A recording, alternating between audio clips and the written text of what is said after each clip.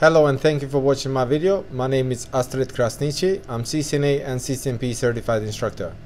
On this video we are covering new topics added to the CCNA course 200-125 and this is section 4.9 quality of service.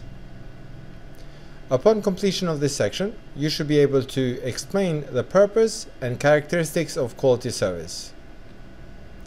Examine the Cisco Quality Service. Cisco IOS software provides a range of quality service tools that addresses the needs of voice, video, and data applications. Quality service is defined as an application of features and functionalities to actively manage and satisfy networking requirements of applications sensitive to loss, delay, and delay variation, delay variation jitter. Quality service also guarantees the availability of bandwidth for critical application flows. Network managers know that queuing or buffering, not bandwidth, is a primary issue in the campus network. Because more bandwidth you give, is always going to be queuing. The devices are going to always use all the available bandwidth. So you need to understand queuing, not always increasing the bandwidth is going to solve the problems. Almost any network can take advantage of quality service for optimum efficiency, whether it's a small corporate network, an internet service provider, or enterprise network. Prioritizing traffic. Applications such as voice and live video transmissions create higher expectation for the quality of the delivered services. Congestion occurs when the demand for bandwidth exceeds the amount available when the volume of traffic is greater than what can be transported across the network, devices queue the packets. If the number of packets uh, to be queued continues to increase, the memory queue fills up and packets are dropped. This is known as a tail drop. So as as the packets they start going, if there's no if there's enough bandwidth, they're just gonna go to the exit interface or egress. If the bandwidth of the interface is is congested then the queues are going to start forming and as the queues increase then the last package arrives in the queue they may get dropped bandwidth congestion delay and jitter. Network bandwidth is measured in the number of bits that can be transmitted in a single second or bits per second bps for short. Network congestion causes the delays and these examples are first aggregation. Aggregation is, for example, if you are connecting many computers, say uh, end devices, laptops, desktops, phones, and printers, and so on, and then they're all 100 megabits per second, and then you transmit into the DLS distribution layer switch, but the bandwidth is the same as these ones. So in there, in here, you're gonna get 500 megabits per second. They're gonna send the data, while you here you can send only 100 megabits per second. So that's a problem. Another problem is speed mismatch. One side of the of the link it's one gigabit, and the other one is 100 Mbps. So 10 times faster.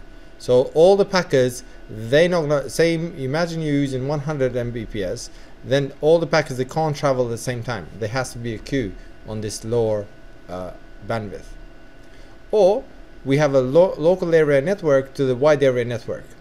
Again, speed mismatch here or it could be a different different uh, encapsulation type or different uh, interfaces but again you have a 1000 me megabits per second on the LAN on usually in the wide area network we don't have the, the speeds that we have on local area networks. End-to-end -end delays. End-to-end -end delay and jitter have severe quality impact of the network as follows. End-to-end -end delay is the sum of all type of delays. Each hop in the network has its own set of variable processing and queuing delays which can result in jitter. So there is a, quite a few delays, different type of delays that we're going to go through it but when you add them all together end to end that causes end to end delay which is from the source packet leaving the source by the time it arrives to the destination that's the end to end delay. So different type of delay. The first type of delay is processing delay. This is the time that it takes for the router or layer 3 switch to take the packet from the input interface, ingress, and put the packet into the output interface, egress. Process delay depends on the following factors. We can be CPU speed, CPU use, IP switching mode, router archi architecture, configured features on both the input and output interface, like ACLs and so on. So queuing delays is the time the packet resides in the output queue of the router. Queuing delay depends on the number of packets that are already in the queue and the packet sizes. This, could, this is a variable delay. Sometimes the queue is bigger, sometimes smaller, sometimes there is no queue. Serialization delay is the time it takes to, to place a frame on the physical medium for transport. Actually put the frame in the medium so it can actually go outside. And propagation delay is the time it takes the packet to cross the link from one end to the other. Jitter is a variation in the delays. Different type of quality service models that we have, and we're going to talk about them more on section 4.10, the next section. The first type is best effort services. Pretty much here, there's no quality service. Basic connectivity, no guarantees. It's first in, first out queues. First packet that comes in, first packet is going to go out. Doesn't matter if that packet is FTP or voice packet. Doesn't care. FTP comes first, FTP goes out. Then the voice has to wait for the, all that uh, FTP packet to go through. The second type of quality service model we have is integrated services.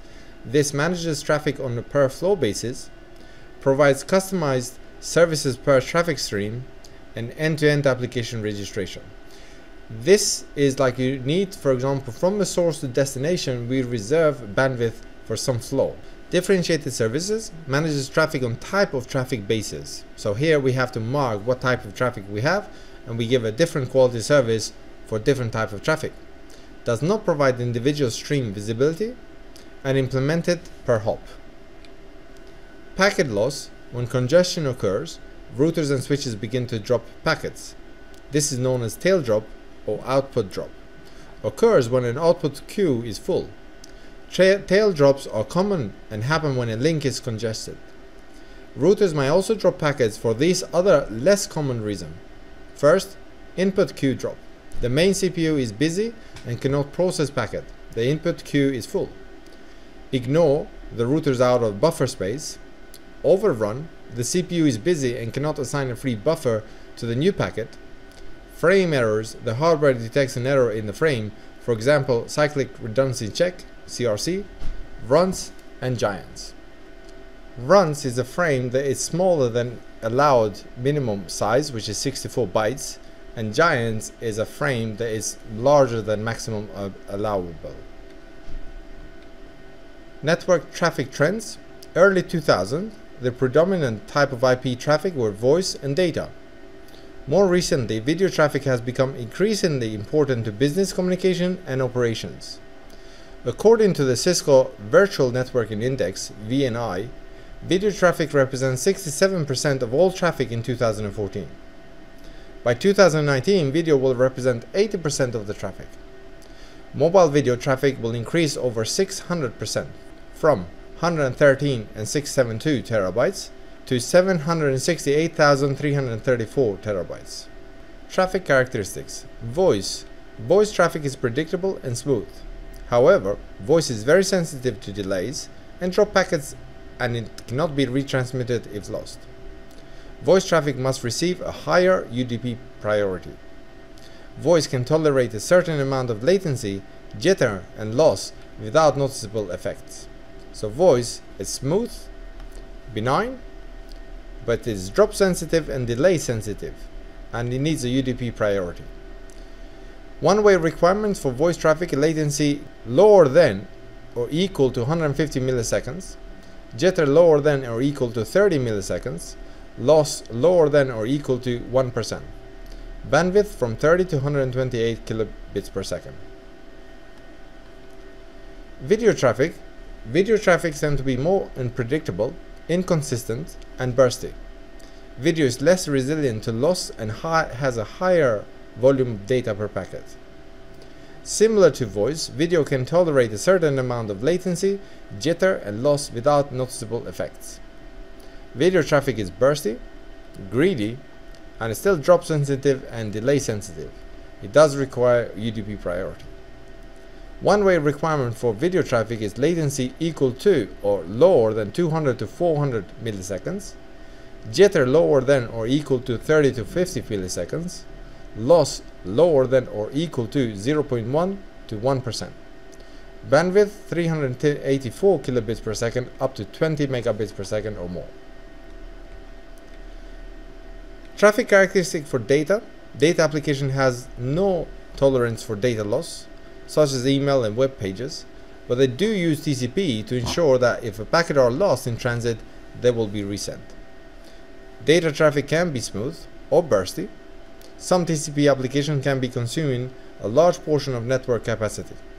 For example, FTP will consume as much bandwidth as it can get when you download a large file like a movie or a game. So data traffic is smooth and bursty or bursty, benign, greedy, drop sensitive, insensitive, drop insensitive, delay insensitive, and TCP retransmits. So first queuing algorithm we're going to talk about, or no queuing algorithm here, is first in first out, or FIFO. The FIFO queuing involves buffering and forwarding packets in the order of their arrival. FIFO does not recognize priority or classes of traffic. Traffic is sent out in the order it has been received. FIFO, which is the fastest method of queuing, is effective for large links that have little delay and minimal congestion. The second type of queuing algorithms that we have is weighted fair queuing. Weighted fair queuing is an automatic scheduling method that provides a fair bandwidth allocation for all network traffic. Weighted fair queuing allows you to give low volumes, interactive traffic such as telnet sessions and voice priority over high volume traffic such as FTP sessions. Weighted fair queuing classifies traffic into different flows based on the packet header addressing. Low bandwidth traffic stream receive preferential services. Class-based weighted fair queuing extend the standard or WFQ functionality to provide a support for user-defined traffic classes. A FIFO queue is reserved for each class and traffic belongs to a class is directed to the queue for that class. To characterize a class, you assign it bandwidth, weight, and maximum packet limit. The bandwidth assigned to a class is the guaranteed bandwidth delivered to the class during congestion. So here we create any classes, each class will become first in first out queue and then for example we, the important traffic we put in class 1 and they will go out first and then less important traffic class 2 and we are defining different classes for different type of traffic. Low latency queuing, this is the best queuing for uh, voice packets. For example, what it brings a strict priority queuing, class-based weighted fair queuing. For example, we have class-based weighted fair queuing, but we implement a priority queuing, which all the packets they're gonna be uh, like voice packets they're gonna go in a, this class, and the priority queuing will be serviced first before any other queues are serviced. Until the prior until this class it is serviced and it's empty, then we look at other classes. With LLQ, delay sensitive da data is sent first before packets in other queues are treated. Low latency queuing allows delay sensitive data such as voice to be sent first before packets in other queues, giving delay sensitive data preferential treatment over other traffic.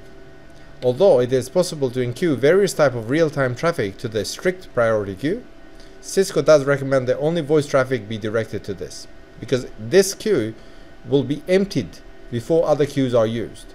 So this queue will be serviced first until there's no more packets on this queue before we even think of going to other classes.